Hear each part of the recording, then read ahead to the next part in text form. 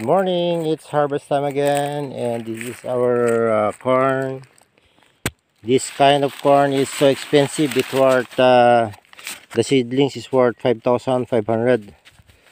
So look at the outcome, it's a little bit better, bigger uh, yield.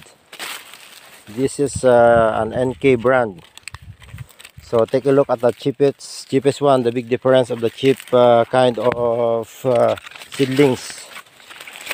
On the other side, because at that time we have a short uh, budget, I bought a 1,500 worth of seedlings. This uh, they call it cornwort. See, look at the outcome.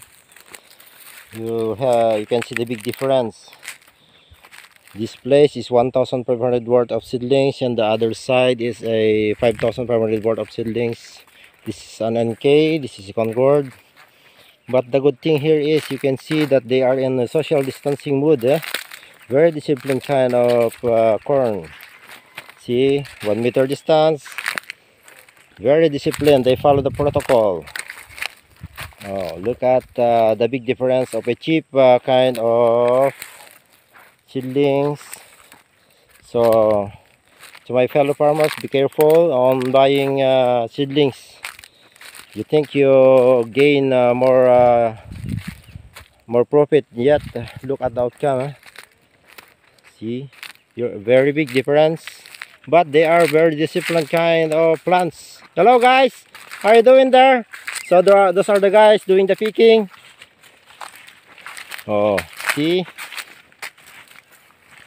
big difference. So everyone be careful of buying seedlings this is the boundary.